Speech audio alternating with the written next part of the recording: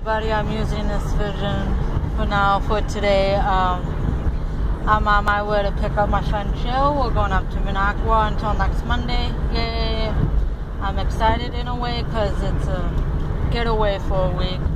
But yeah, it, it's like, uh, I really don't want to, you know, like three and a half hour drive. It's like, yeah, you know, like, yeah, but some of the stuff I'll record, you know,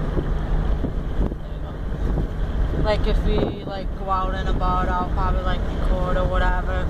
It might not be on so much of me, but I'll make sure to include me, you know, like facing me, like either at the beginning or at the end of the video. Um, yeah, this should be fun. Yay, you know. Um, I don't know if any of you know Minocqua is like a tourist town.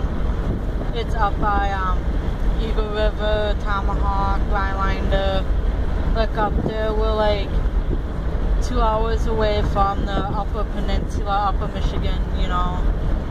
So maybe we'll take an adventure there one of these days. Who knows? But yeah, I'll keep you guys posted on um, everything. So yeah, Um, I'm almost to my friend's Jill's house now. So talk to you later. Bye.